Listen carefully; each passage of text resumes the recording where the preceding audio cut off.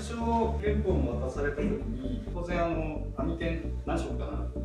4色で表現されるであれば当然まあ色気に注意しなきゃいけない。例えばシアンマゼンタイエローの3色で出てるグレーバランスはそのウォームトーンのグレーと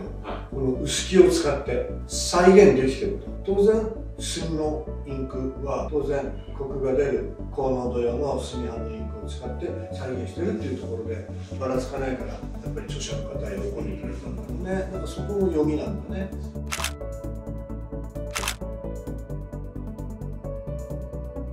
ここからはそのディレクターが最近手掛けたお仕事について紹介していきたいと思いますけど昨年求龍堂さんから刊行され2019年にオランダで刊行されて2020年にニューヨーク・タイムズ WS ジャーナルでベストブックに選出されて世界的に大きな話題になった本なんですね。ベルギー出身のペーター・バン・エンネ氏によるレビュー作これが旅することでこれの日本初上陸版東京書館でコソンディレクターの手によって手掛けられたんですけどもディレクションのポイントっていうのはどの辺にあったんでしょうか？そうですね。あの最初原本を渡された時に、まあ、当然あの網点何色かな4色で表現されるであれば当然、まあ、色気に注意しなきゃいけないただ4色になった時に何が一番問題になるかっていうと検討制度もそうですこれ厄介だな最初見た時に厄介だなっていうのがとんでもない細密画ですよねそうですねかなり細かい線を用いて、えー、と絵にしてるっていうのがあるので見当がわずかずれるだけで、まあ、色気がしちゃう、まあ、実際にちょっとテストをしてみましょうということで、えー、と今取りすぎもあるんですけどこれが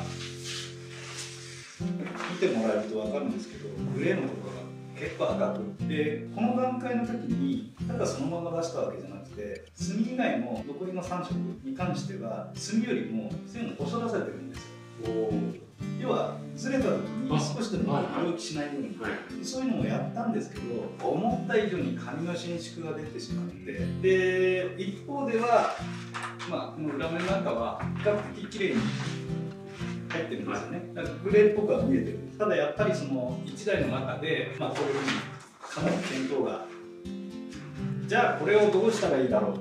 まあ当然このままお客さんに出せばこれ見当悪いから見当合わせてねって。言われるだけそうそうこの段階で墨基調でやって。やって。ありますでまあ言われるのは分かって。たんで印刷会社として。こういう絵柄だったらどうすれば言葉悪いですけど多少見当がずれて。も目立たないようにするにはどうしたらいいかなって。考えた時にまあ墨はもともと前兆で、うん、まあ、うん、一番調子のある、でそこにグレーの陰気を乗っけることで色浮きはしなくて済むよね。と、こちらからしてみると4色でやることのデメリットのものが高い。なので3色でとりあえず提案させてくれと。でまあその時のテストでやったものが、まあ、こちらなんですけど3色で実際これ作られてるんですけど、まあ、メインは墨とグレーになるので、まあ、墨は高濃度のインキを使わせてもらうと。でそこで、まあ、高濃度のインキを使ったとしてもまだ4色に比べるとちょっとコクが足りないだろうな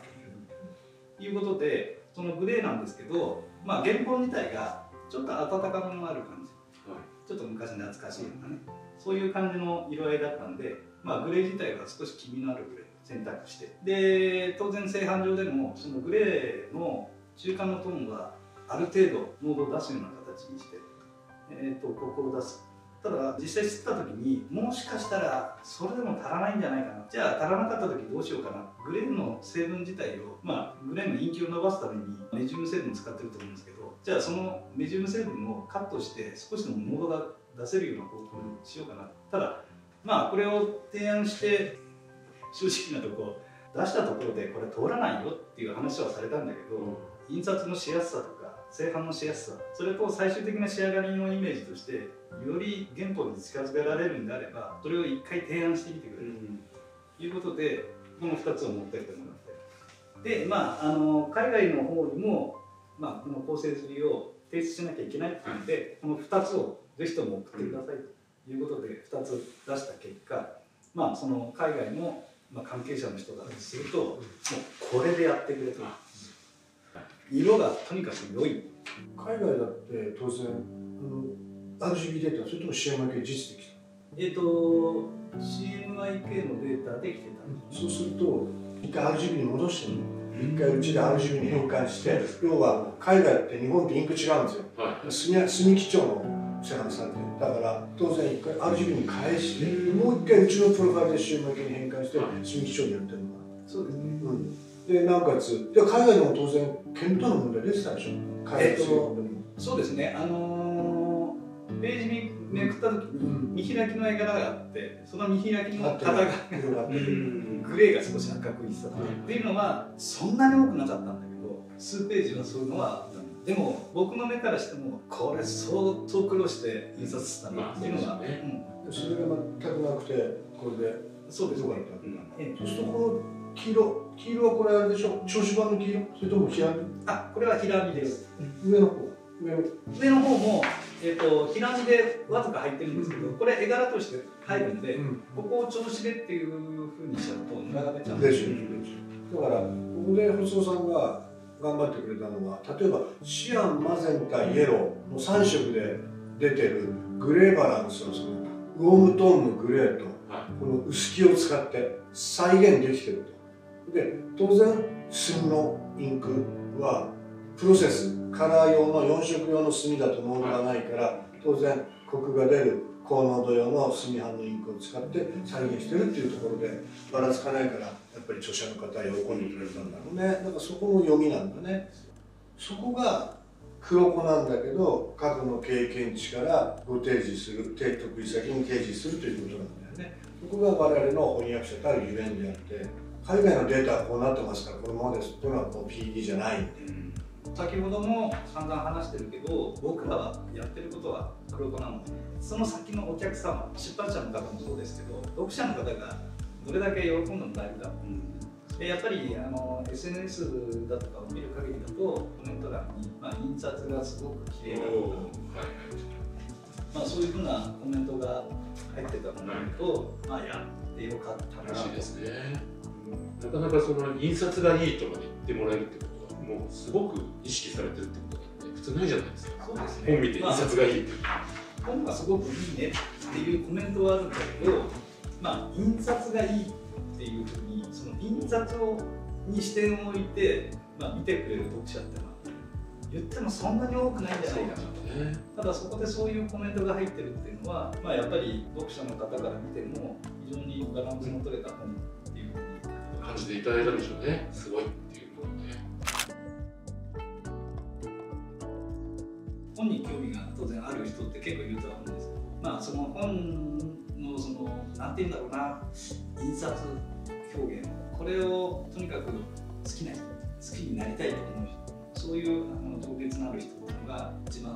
プリンティングディレクターとしての近道なんじゃないかな。と、まあ、あとはね怖い先輩がいても怖がらないでそうですね一緒に寄り添って。そうですね。教えてもらうそれちょっとこの人のこと忘れてるよ私怖いか怖かったら分かるよ。だけどベースはこう愛情があったじゃないですか。そうですね。そこは重要でしたね言ってくれね。一言抜けてましたね。そうですね。怖いだけじゃない。愛があるんですね。怖さ。